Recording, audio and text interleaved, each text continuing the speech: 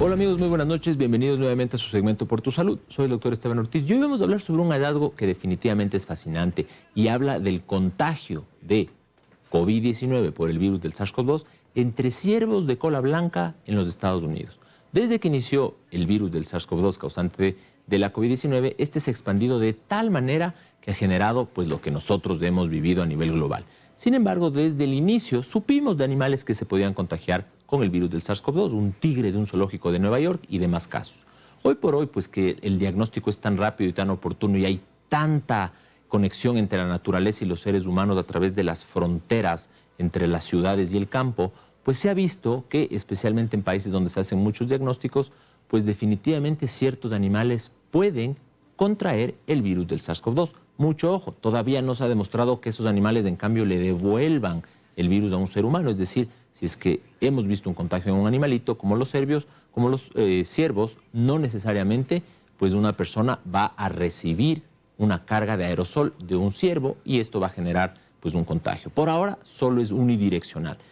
Ahora nosotros hemos visto que a lo largo de la pandemia, pues en este estudio de los Estados Unidos nos dice que esta especie de ciervo aparentemente son muy vulnerables a tener el virus del SARS-CoV-2 en las secreciones y obviamente dentro de su vía respiratoria. Y esta propagación se ha dado aparentemente entre ciervos, es decir, los mismos ciervos pueden pasarle a, otra, a otro ciervo pues el virus del SARS-CoV-2.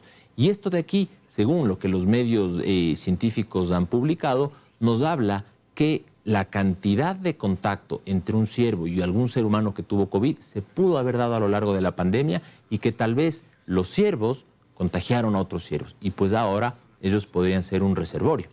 Hay que estudiar más a fondo estos temas, pero como yo les decía tras cámara, pues los animalitos y el ser humano necesitan tener una conexión que sea muy armónica. No podemos hablar de una buena salud de los seres humanos si usted vive cerca de un lugar donde los perritos, los chanchos, las vacas comen de la basura y esa basura está al lado de una guardería y esa guardería está al lado de un mercado donde se faenan pollos o, cualquier tipo de ganado. ¿Por qué? Porque los virus entre los animalitos y los seres humanos pueden mezclarse y dar lo que tuvimos en una pandemia. Nos vemos en el siguiente segmento de Por tu Salud.